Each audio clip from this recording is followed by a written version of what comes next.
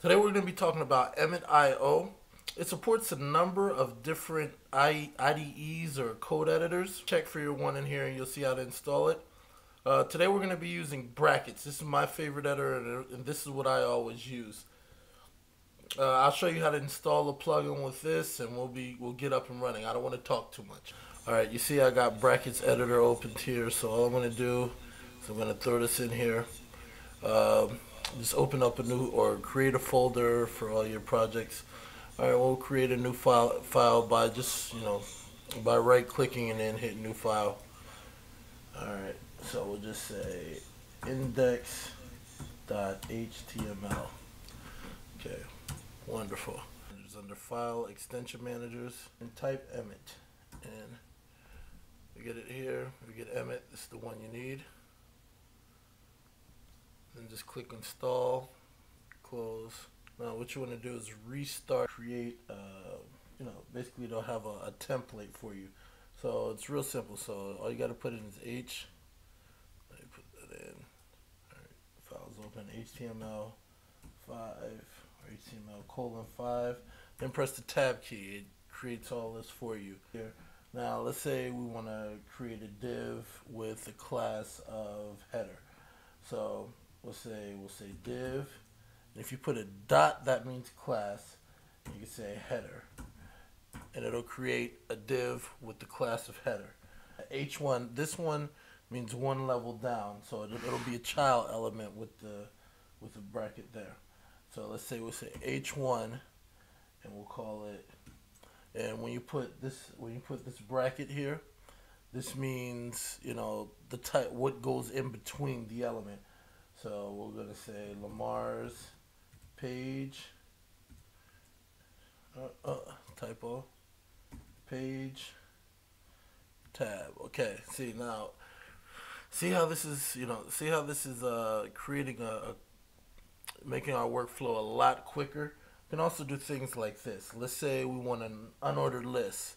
So UL, and then we're going to make the child element an LI and then we're going to go times 5. So we're going to make 5 list elements. Just hit the tab key, bam, you got you got 5 list elements. This this makes your development so quick, it's not even funny. All right. What else are you going to go to?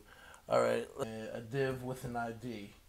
So just hit the hashtag and then you put uh, let's just call this nav all right so it's going to be a div with the ID of nav. So wonderful. Moving along. All right, now let's say you want to come up one. All right, let's say we have a div where we want to make a link. And for whatever reason, or we want to make the link on the same level as the paragraph tag. All you got to do is add a plus there, and it'll put them two on the same level. Uh, like a, a, I guess a sister element, not a child element of of the link when you do it that way. All right. Table. You say T head. Then we're gonna make T body let's say TH. T body. And then we're gonna make uh, TR. And then TD times three. Okay.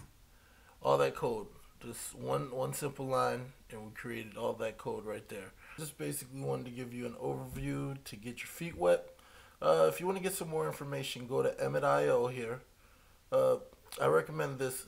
Checking in the Documentations tab, and going all the way down to the bottom here where it says Cheat Sheet.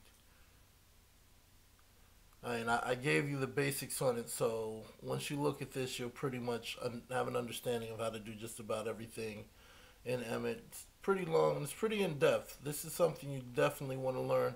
This will cut your workflow and your time in half. Um, as always, thank you for your time and attention.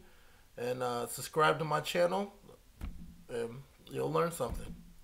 Goodbye.